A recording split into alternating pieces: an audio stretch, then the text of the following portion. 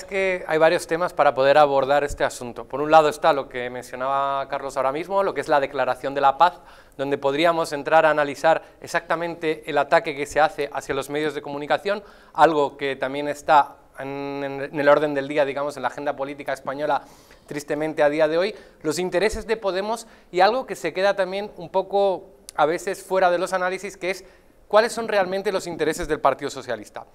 Respecto a la declaración de la paz, eh,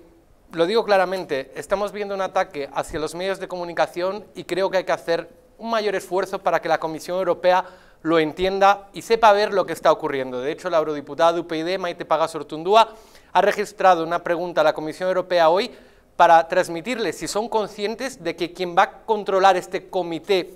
de verificación es la Secretaría de Estado de Comunicación que depende directamente de la presidencia del Gobierno. Y creo que esto la Comisión Europea todavía no lo ha entendido. Es más,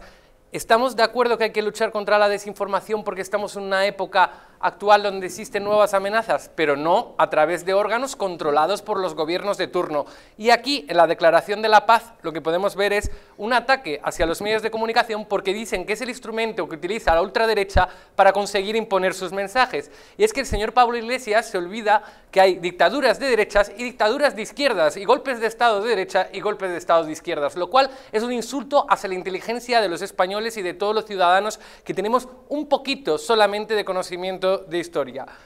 Pero claro, también tenemos los intereses de Unidas Podemos, de Podemos en este viaje. Unos intereses que, sinceramente, el señor Iglesias está manejando bien que no se filtre o no se salga información de Bolivia porque estábamos todos alarmados por los continuos informaciones que nos estaban llegando y sin embargo hubo un parón durante meses que no nos llegaban informaciones de las investigaciones que estaban haciendo sobre la financiación